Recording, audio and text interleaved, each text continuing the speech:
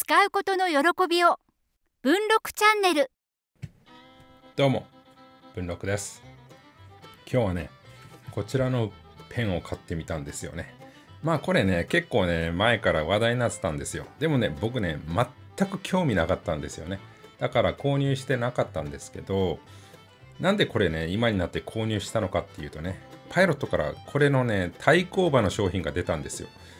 これはねちょっとねブーム来てるんじゃないのかなと思いましてまあこのブームに乗らない手はないなと思いましてまあ僕もねそのセーラーのこのね初代そのブームの火付け役になったねこのホコロをね買ってみようと思って買いました。であの色写しパイロットの色写しの方も買ってるんで、まあ、後日ね比較のためにね動画アップしたいなと思ってます。とりあえず今日はねこっちのセーラーのホコロの方を、えー、見ていきたいなと思います、うん、でこれね結構ね小ぶりなペンですね。これ通販で買いましたけど箱届いた時にねえこんなちっちゃいのって思いましたよ。うん、だって一般的なペンってね結構長いんですよ。ほらこんなに長いんですよ。これに比べるとだいぶ短いかなっていう気はしますけどね。これのコンセプトはですね万年筆のペン先がついている、えー、つけペンということになってますね。うんまあ、これがつけペンなんですけどこのつけペンっていうのってこれ消耗品なんですよね。ペン先をまず大量に買っておくんですよ。10個とかまとめて購入するわけですけど、それを摩耗するまで使って、その摩耗したら次のペン先に変えるっていうね、そういう使い方をするものなんですね、これは。うん。でもこっちは万年筆のペン先がついてるから、まあ、あの、交換する必要がない。ここ、ペン先が摩耗しにくくなっているからね。うん、というものになってる。ということで、だからこのつけペンの弱点書き味がどんどん悪くなっていくっていうねその弱点をこのペンは克服しているとそういうふうに僕は見ていますはいじゃあ開けてみましょうでもね僕ねつけペンって基本あんまり好きじゃないんですよね。インクをいちいち付け足すっていうのはね僕はそんなような使い方はしないんでなんかめんどくさいじゃないですか。そういうところめんどくさがるタイプなんでうん。僕はね別にねこれ興味なかったんですけどさすがにねパイロットもね追随してきてるからこれは無視できないですよね。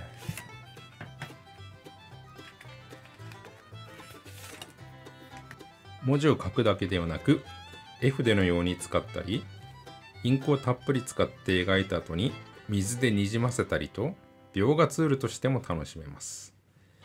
細字のペン先はペンポイントがついているので耐摩耗性に優れ耐久性があります。ということで僕はね細字にしたんですよ。細字とカリグラフィーの2種類あったんですよね。でカリグラフィーだったらもうこのつけペンでいいじゃんっていうね普通のつけペンと変わんないじゃんと思ったんで、ね、ペンポイントがついている細字の方がまあ、こっちとの差別化ができるかなと思ったんですよね。それで僕は細字の方にしました。使ってみましょう、えー、普段はね、ペン先がこの中に収納されているということで、なんかね、顔の形になってるらしいんですよね。これが。これ、取れた。結構硬いですね。これ、落としたらね、もし今取った瞬間、その表紙に落としたらね、ペン先曲がってしまうんで気をつけてくださいね、そこは。これをこうやってつけると。うん。これで完成。ちょっとハイエースネオっぽいですよね。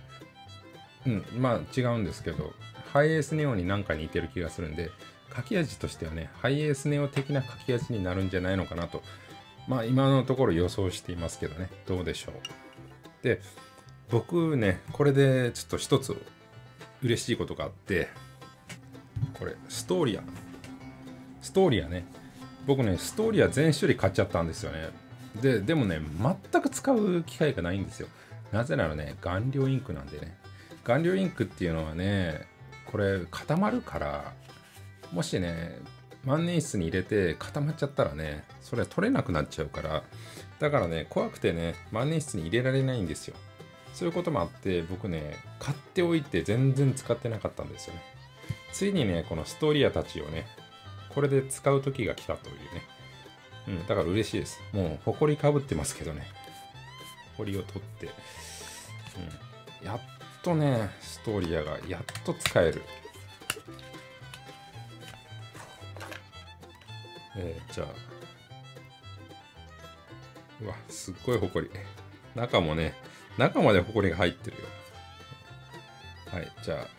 ストーリアのブルーこれで書いてみましょうね。このねハート穴のところよりちょっとやや上のところまで浸すといい感じになりそうです。これでいいのか？ななんか想像と違った。こんな感じになりましたよ。これでいいんですかね？うんちょっとわかんないな。じゃあこれで書いてみますね。あかけたかけたあー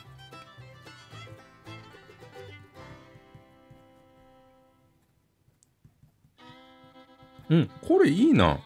あ、予想以上にいいですよ、これ。あ、でも、なんか書けなくななりそう。あ、書けない。え、あ、飛んじった。えー、っと、使いづら。うーん、全然万年筆の方がいいな。でも書き味に関しては、あのー、悪くないですよ。あ、でもほら、すぐ消える。ちょっとね、消えるの早くないですか？いちいちつけていかないとダメですね、これ。すぐになくなるから。こうやってね。いちいちつけていくしかない。非常に手間ですね。そのうちね、こうやってね、開けっぱなしで使ってると、だんだんここがね、蒸発していって、そのうちね、ドロドロになるんじゃないのかってね、ちょっとそういう心配がありますね。うん、駆け味はね、全然悪くないですね。すごくいい。ハイエースネオよりもいいかも。ハイエースネオってちょっと硬い感じがするんですけど、ハイエースネオよりは柔らかい駆け味ですね。うん、とてもいいと思います。うん、で、えっ、ー、とね、この軸もね、軽いし持ちやすいし、このね、少しね、ここがくぼみになってるんで、ここを持つととてもいい感じでフィットしますね。うん、グリップ感がすごく好きです、これ。ああ、これ、いいな。書き味は素晴らしいな、これ。全くインクスキップしないんで、あのね、万年筆とかよりもね、つけペンの方がね、こういう線強いんですよ。こういうパッてね、こういうパッて書いた線でね、インクスキップしないんで、そういうところはね、つけペンのいいとこですけど、その良さがね、ちゃんとこれありますね。つけペンのこの早書きの良さが、ちゃんと受け継がれてる。あ、結構意外と書けてますね。今、長々と書けてますよね。今、2回目浸してから結構書いてますよね。うん。あ、意外と長持ちするな。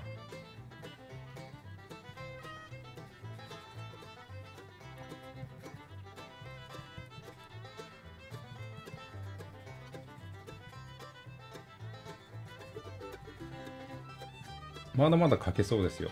あ、大丈夫大丈夫。さっきはすぐに消えたけど、うん、今度はね、ちゃんとインクがしっかり乗り続けてますね。長時間筆記できてますよ、今は。うん、もうこれ閉じてもいいぐらいだ。うん。意外とこれ、ね、ノート1枚、の A4 用紙1枚書けそうな気がするな。え、そりゃ言い過ぎか。文字だけだったらね、さすがに A4 用紙1枚は無理でしょう。あ、もう薄くなってきた。あ、もうダメだ。あ、ここら辺までか。うん。まだインクは見えるんですけど、この辺が限界みたいですね。という感じですね。で、書き終わったらね、まあ、水洗いするっていう感じなんですけど、ティッシュでどうだろう。ティッシュだと厳しいか、やっぱ水洗いがいいのかな、うん、今はこうやってね顔料インクで描いてみましたけどなんか見た目染料インクとそんなに変わんないですね。結局顔料インクでも裏抜きしてるんで顔料インクだからって裏抜きしにくいというわけではないから。なんかね僕やっぱり染料インクの方が好きですね。いまいち顔料を使う理由がないですね。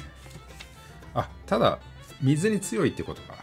一度こう乾くともう水で濡らしても落ちないはずなんで。水で濡らしましたけど今。さあどうでしょう。うん。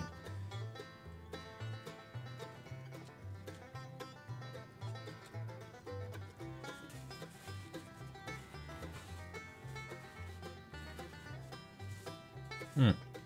ほら全然線は全然にじんでないですね。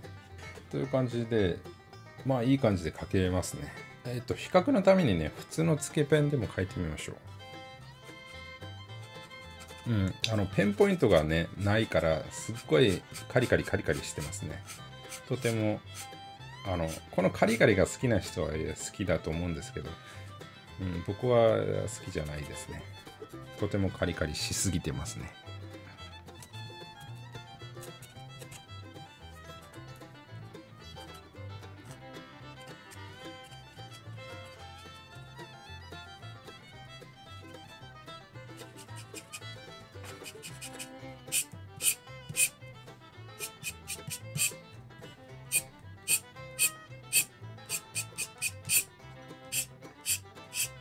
うん。